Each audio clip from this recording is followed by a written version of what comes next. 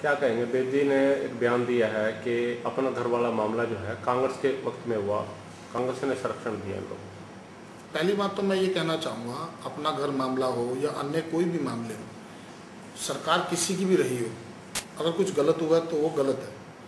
और गलत, आज मैं कहता हूँ कि किशन बेदी जी ने भाजपा का काला चश्मा डाला हुआ है या उन्हें साफ़ दिखाई देना बंद हो गया है।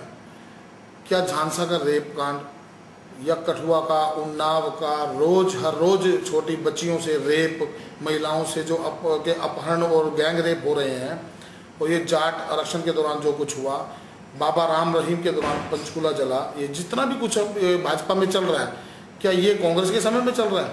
ये कांग्रेस का समय है इस टाइम या भाजपा का समय मैं पूछना चाहता हूँ कृष्ण बेदी जी से कि वो अपने काम पर ध्यान देने की बजाय, सरकार उनकी पिट रही है, लोग गालियाँ निकाल रहे हैं, लोग रोज प्रदर्शन कर रहे हैं, भारी समूह के साथ सड़कों पर लोग खड़े हैं।